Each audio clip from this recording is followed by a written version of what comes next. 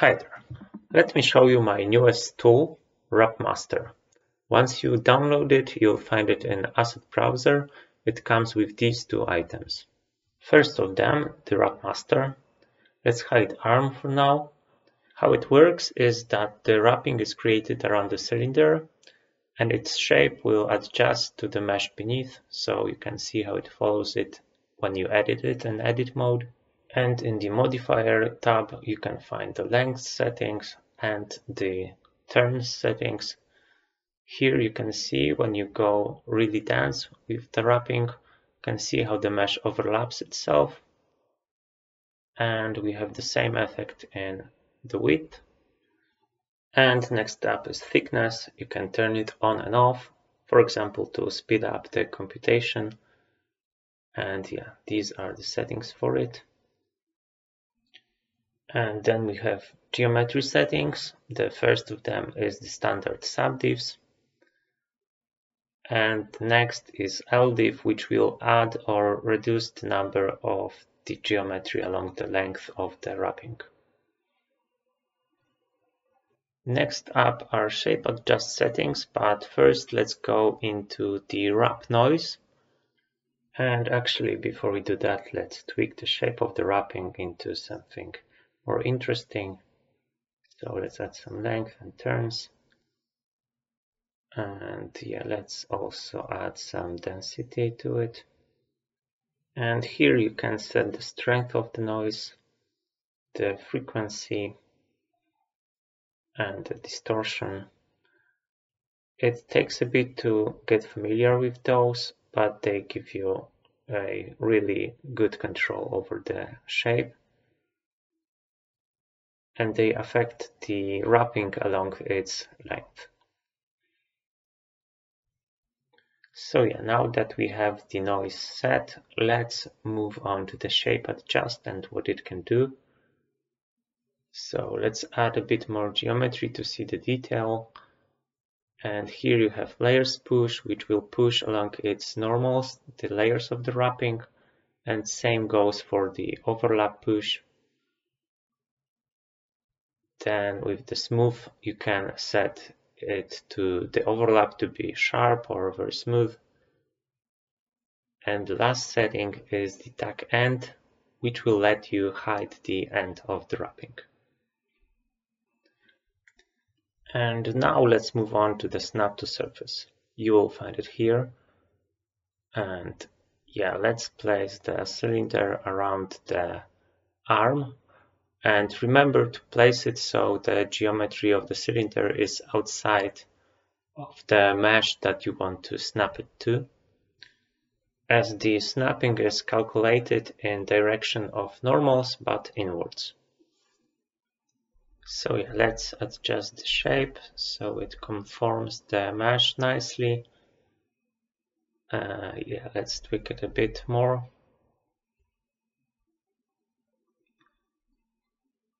And now that we are set, let's pick the arm. And yeah, that's how it works. And additionally, we have the offset setting for it. And next up is the concept of the pinch. So how it works is that you have a pinch collider and where it intersects with the cylinder of the wrap master, there the wrapping will be pinched. And yeah so you can see when you move it around uh, you can see its effect.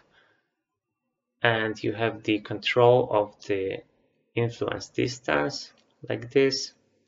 And also you can like duplicate the face so you can have many points like this and next up is the similar concept, but here you influence the width of the wrapping with the collider. So for it, everything works in a similar manner. You also can control the width, uh, like add and subtract, and then you have the control of the influence. And you can duplicate the collider mesh also. And now let's move on to the third settings. For it, we have just the two sliders. The first of them is the sparsity. So the higher the number, the less of the tears. And next to it is the seed, which will randomly place the tears around the wrapping. And now moving on, let's look at the materials tab. So with each asset you get three materials to pick. You have the bandage, the cloth and the rope material. And if you look at node tree for them, uh, you have these settings here. You can, for example, color them to whatever color you'd like, like this. But for now, let's leave it at white. And now the very final tab of this modifier is the extra. But before we get into it, let's take a quick look at the other asset, which is the rope asset, which works exactly the same.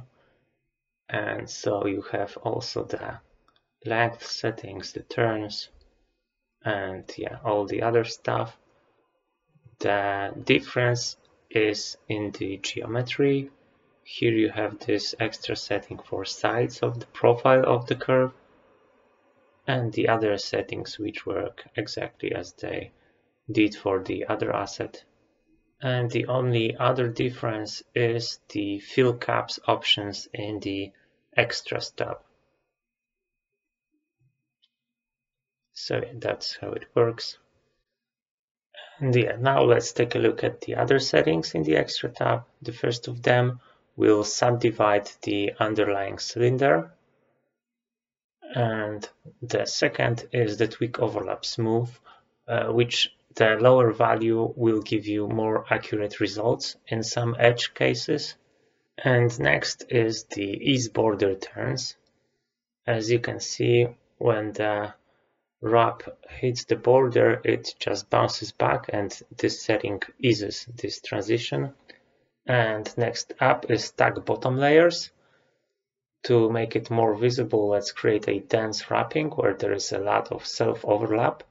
And what this setting does, it will tag all the self-overlapping for the layers that are not at the top, which will reduce the noise when you have very complicated shapes. And finally, we have trim start, which similarly to the tuck end, will help you hide the beginning of the wrap. And this concludes this tutorial. I hope you'll find this tool useful. You can find more about it at blendermarket.com. Thank you.